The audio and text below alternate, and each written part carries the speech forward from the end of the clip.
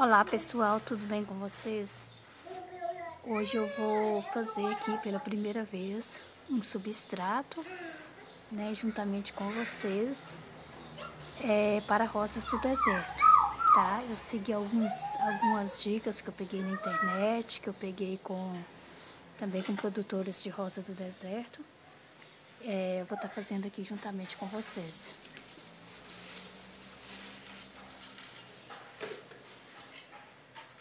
Primeiro item eu vou estar tá usando é, um balde desse aqui de, de terra de cupim, tá? De cupinzeiro. Eu acho que eu vou usar esse aqui, ó, é melhor. Eu vou usar essa vasilha aqui, ó, tá? Como medida. Ele é menor, eu acho mais fácil. Então, eu vou usar o cupinzeiro, tá? É, Usar cupim, o cupinzeiro foi uma dica do meu amigo é, que eu conheci. É, é, o Pierre Adênio, ele me ensinou, né? Eu vi nos vídeos dele ele usando o cupinzeiro no substrato, então eu vou estar usando o cupinzeiro também.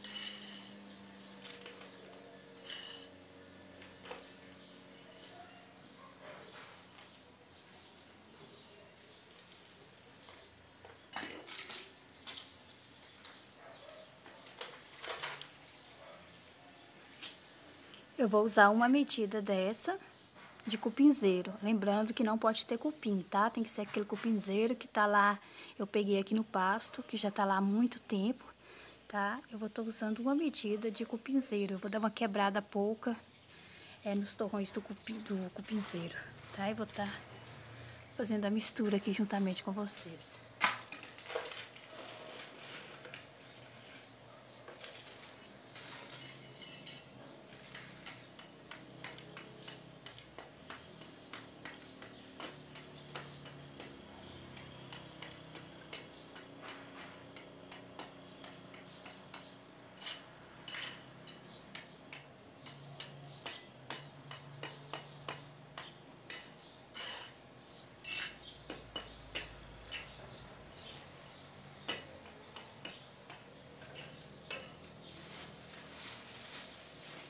Agora eu vou estar usando isso aqui, ó. É madeira em decomposição, madeira semi-decomposta. Era um, isso aqui era um pau, eu fui batendo ele. Tá? Diz que é muito bom a gente usar a madeira. Então, é um pau, tá vendo que ele já tá bem, é, é semi-decomposto mesmo, tá? Eu vou estar tá colocando a mesma medida dessa madeira aqui semi-decomposta. Isso aqui é é madeira nativa que apodreceu, mas não tinha cupim nem nada não. Eu fui desfiando ela, batendo ela com o martelo e ela ficou desse jeito, parecendo uma fibra.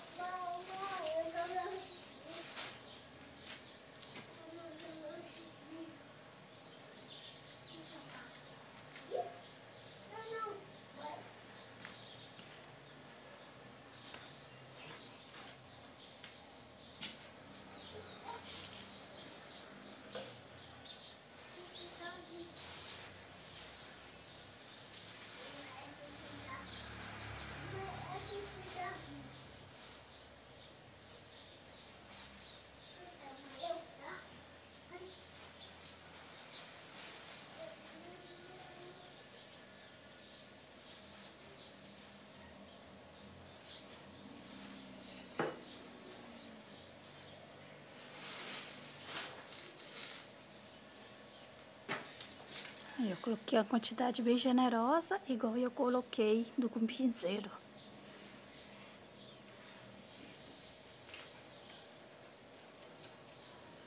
Agora eu vou estar tá usando o carvão.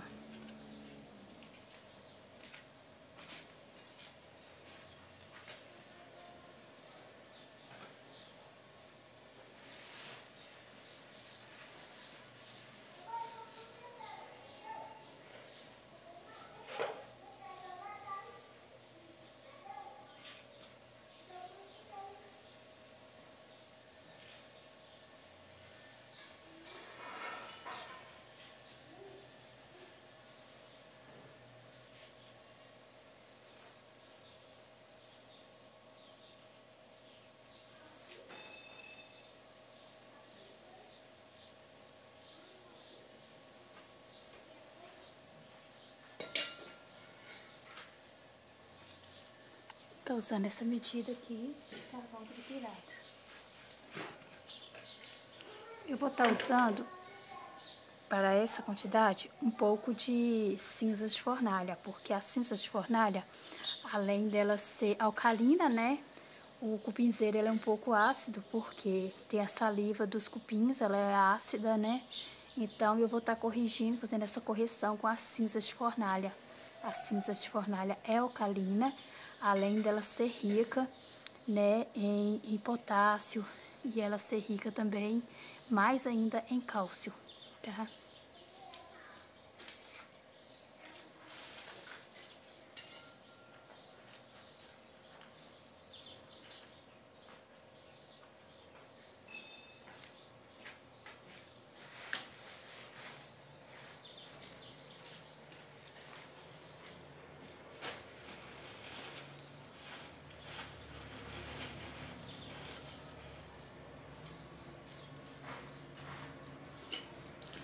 Estar tá usando uma pá dessa aqui de cinza de fornalha.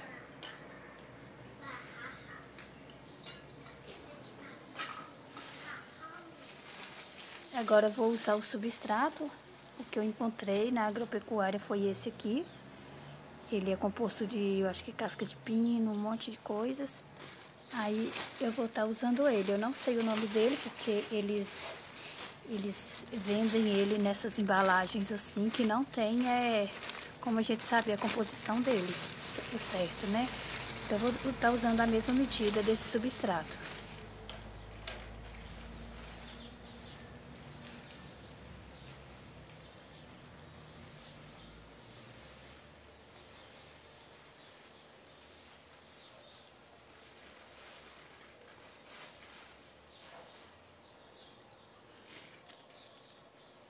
Acho que eu vou encher um pouquinho mais.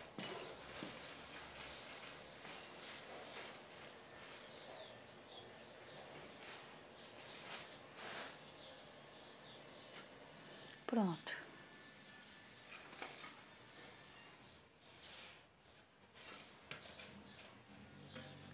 Então, agora eu vou fazer a parte de nutrição das plantas, a parte da adubação, tá?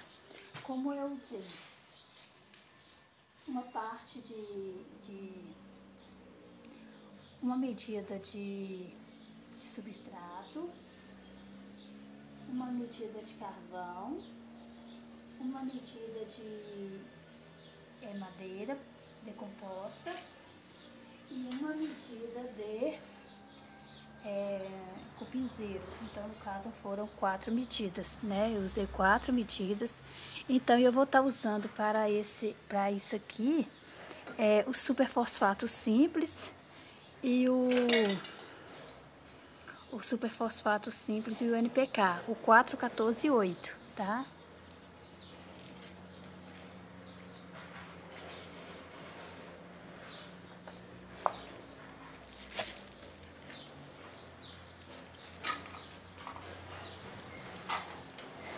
Essa medida aqui, ela é de 2 litros, tá? Então, eu vou estar tá usando quatro medidas, porque foram quatro, né? De 2 litros. Então, eu vou estar tá usando quatro medidas de superfos, é, de NPK. Duas, três, quatro. Aí, quatro, quatro colherzinhas dessa de NPK. Esse aqui é o 4148, daquele mais rústico mesmo, comprado em agropecuária. Ele é bem forte. E vou estar usando o superfosfato simples também, uma colherzinha é, para cada 2 litros.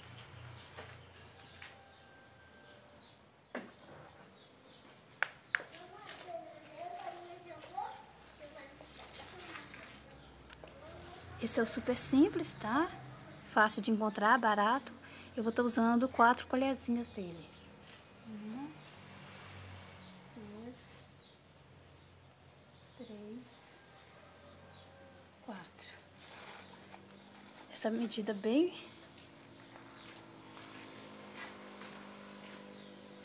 Bem concentrada mesmo, vai ficar bem forte essa mistura. E eu vou estar tá misturando.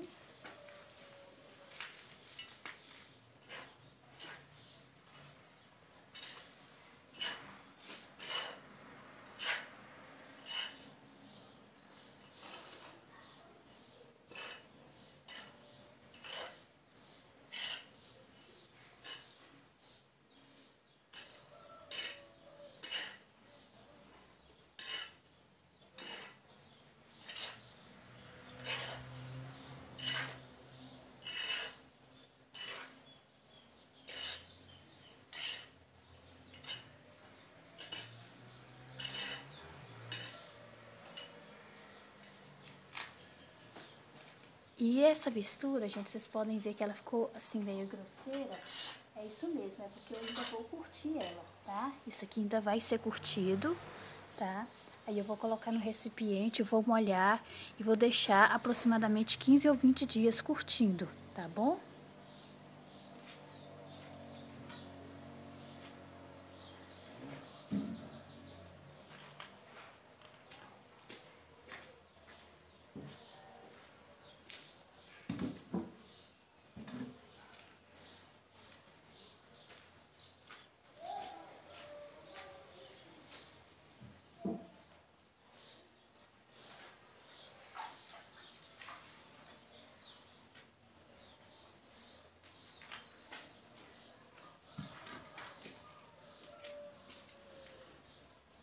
Tá colocando ela é nesse filtro velho aqui, tá? Vou pôr a mistura aqui e vou estar tá regando, vou estar tá molhando para ela curtir.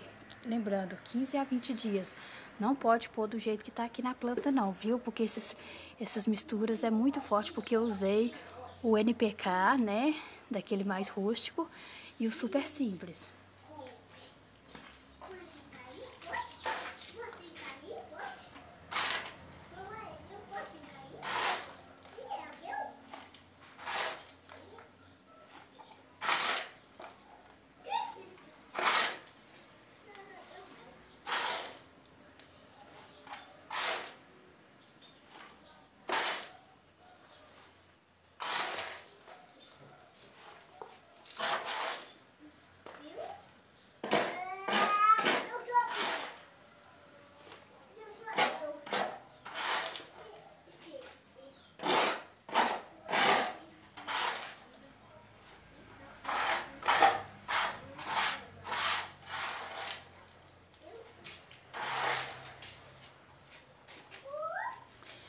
Isso vai virar uma mistura super leve, né? Não vai é, correr o risco de encharcar as rosas do deserto. Aí depois, aí eu vou regá-las, né? Todos os dias eu vou dar uma regadinha, um pouquinho de água.